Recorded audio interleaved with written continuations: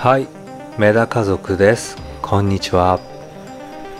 いやー参りましたね。ほんと。まさかですよ。観察ケースの中に取り残されたメダカがいるとは。ちょっとね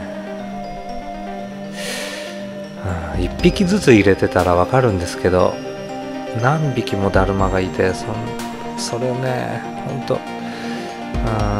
確認しなかったんですよね。全てこう返したつもりがこんなミイラになっちゃってちょっとこれはねかわいそうなことしたなと思って反省してるんですがうーん。初めてですねこういうのは。大体こう水と一緒に帰っていくもんなんですけどなぜか残っていたという。あ辛い。こういうこともあります。たまにはあります。で、えー、ちょっと切り替えまして、えー、今回のですね、えー、メダカですけど、うん、こういうね、えー、1.5センチぐらいの時にこういうメダカが出たんですよね去年。で4ヶ月後にどんな感じになったのかなと。でこうなりました。で品評会これ目指して行ったんですけど。うん。あのちょっと調整ミス。調整ミスで、えー、星になっちゃったんですよねこれが。で今回またもしかするとうんうまくいけばなんですけどこのメダカに匹敵するようなメダカが出たんじゃないかなと。現代段階ではもしかすると勝ってるかもしれない。ヒレの形。体型。ただこのね発色具合っていうのはやっぱうーんどうなんだろうな。そんなにあいい色に上がってこないかもしれないですけど、うん、尾びれの形と大きさすごいいいなと思って。でサイズ的には今1.5センチぐらい。とりあえずメスを入れて1匹産卵させてますけど卵も23粒生まれてるんじゃないかな見たけど。うん。今日も産んでるかもしれないですけど。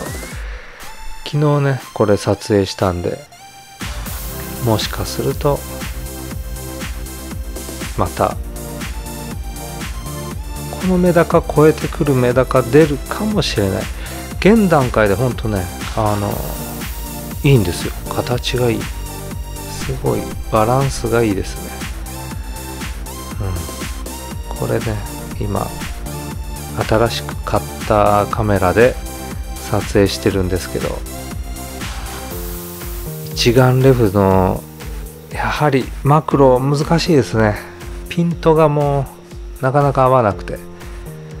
その辺をまたね修正していかないといけないという。うん。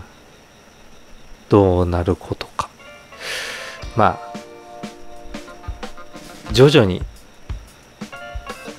うん徐々に慣れてくるんじゃないかなと。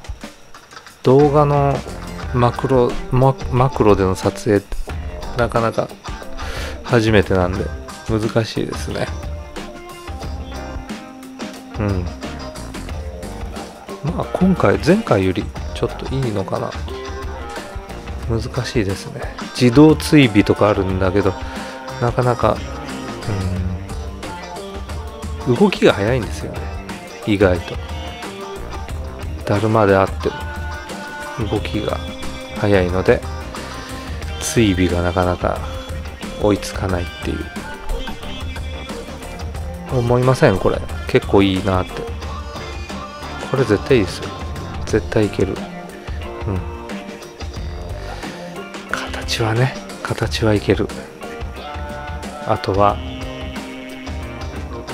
色ですね。このままいい感じに成長してくれてあとはいい色になって。でその春の5月ですね。5月にピタッとタイミングよく育ってくれたら